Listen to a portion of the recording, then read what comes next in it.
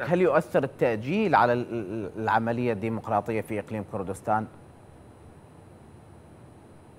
يعني بصورة أخرى إجراءها في موعدها أفضل. كل تأخير يعني مثلا لا يصب يعني هذا يرسل رسائل سلبية للداخل للخارج لبناء المؤسسات في إقليم كردستان. ولكن أيضا موضوع يعني لم يتبقى سوى شهرين ونصف يعني ليست بالمدة الطويلة يعني أو الكبيرة لإجراء الانتخابات. ولكن نحن مع إجراءها في موعدها. كلما كان هناك سرعة في إجراء الانتخابات أفضل من تأخيرها.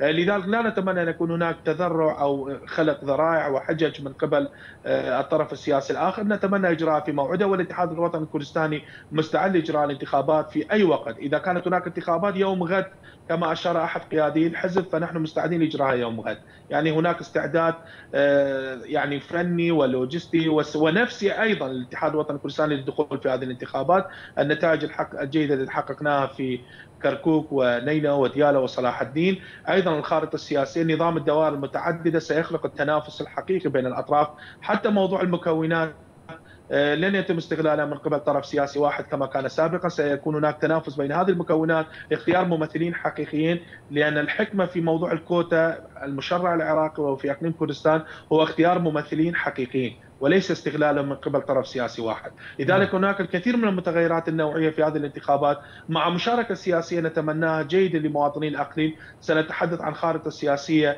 مختلفة عن السنوات السابقة أو على الأقل تمثيل حقيقي أن كل محافظة سيكون لها آه، نسبة من أعضاء البرلمان أقليم. كردستان يتناسب مع الكثافة السكانية وهذا كان غائبا يعني في السنوات السابقة. جيد.